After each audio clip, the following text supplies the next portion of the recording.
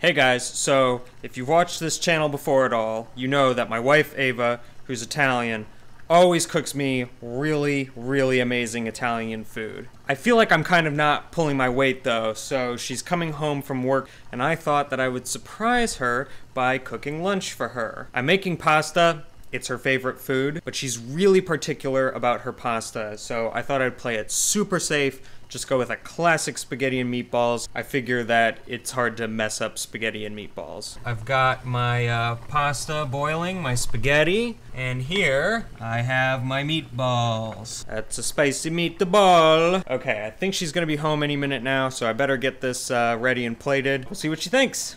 Amore, you made lunch for me. Yeah, I thought it'd be a nice little surprise for when you got home. Grazie. You ready to see what I made? Yes, please, I'm starving. Et voila!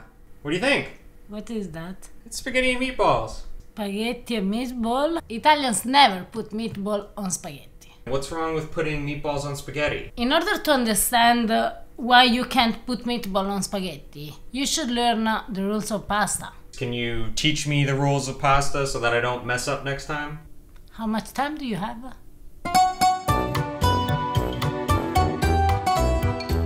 Hi everyone, I'm Harper. Ciao, I'm. Today we're here to sort out once and for all the rules of authentic Italian pasta. So finally you can eat pasta properly as an Italian.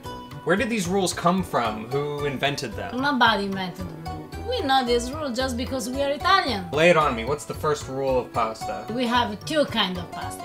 The dry pasta, the other one is the fresh pasta. Okay, that's not too complicated. Yes, but then we have three categories of fresh pasta. The egg fresh pasta, flour pasta. The third is a kind of special pasta because it's made by flour and, uh, for example, potatoes. Potatoes are pasta? Sì, gnocchi. Egg fresh pasta is divided in other two kind of pasta. Two more kinds of, e- of egg fresh pasta? The normal egg pasta, What are some examples of normal egg pasta? tagliatelle, Ta- GLI, oh, you right it. Bippity boppity boopity.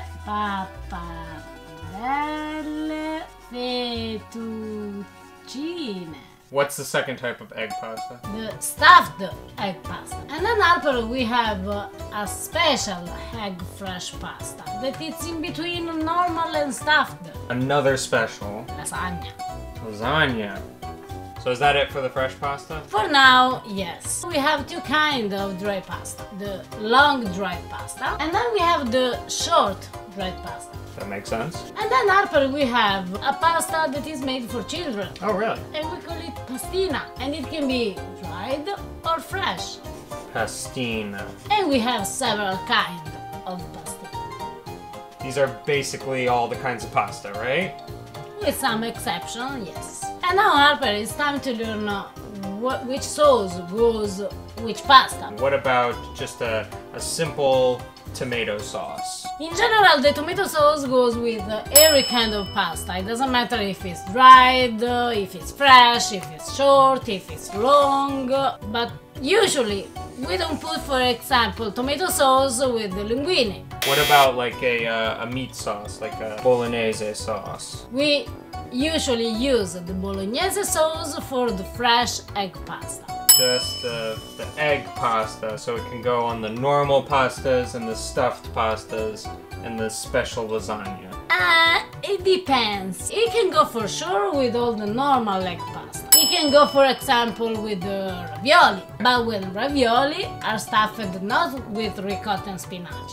No ricotta. Usually we don't put the bolognese sauce with tortellini. But lasagna is okay, right? Lasagna is made with bolognese sauce. What about the pastina? Can bolognese go with pastina? Jesus, no! And then after we have the fish. The only pasta that usually we eat with fish is the dried long pasta. Okay. Sometimes you can find a long egg fresh pasta. The name is tonnarelli. And fish can go with tonnarelli. Sometimes you can find tonnarelli and fish. Sometimes. Then for sure you every Americans know the carbonara. Carbonara, yes. According to the fact that carbonara sauce is made with eggs, you will never use egg fresh pasta with the carbonara. It has to be a dry pasta. What could go better with eggs than eggs, though? It's too heavy. Traditional, we have the spaghetti alla carbonara. Okay. What You- about linguine? You will never find the linguine carbonara. For sure everyone knows the arrabbiata, the spicy, very spicy tomato sauce. The arrabbiata is perfect with penne. Arrabbiata's good with penne. What about But- fusilli and rigatoni? No, rigatoni is acceptable, but fusilli all'arrabbiata. Acceptable. Then we have mushroom. And what can mushrooms go on? Oh, pappardelle with mushroom. Pappardelle.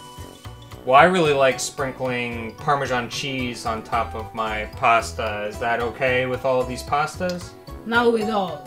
Parmigiano doesn't go on fish. It goes on bolognese, ragu, it goes on mushroom, arrabbiata. So now we should talk about uh, bean sauce. Beans? Ah, pasta fagioli.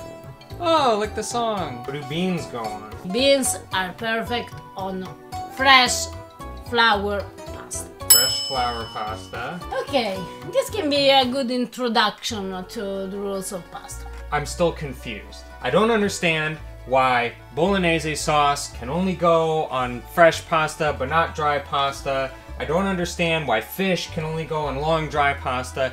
And most importantly, I don't understand why meatballs can't go on spaghetti. Because nobody put meatballs on spaghetti.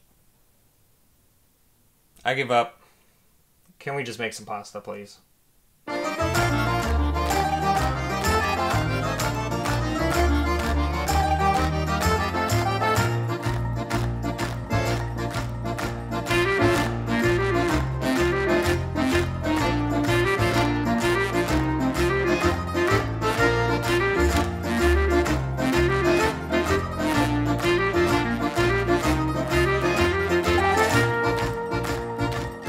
Okay, well, I see some pasta and I see some meatballs. These are fettuccine with meatball, so it's egg fresh pasta normal with meatball because they go perfect together. Whereas spaghetti doesn't. No. Buon appetito! That is delicious, I must say. Now you can understand why meatball doesn't go on spaghetti. Nope, not at all.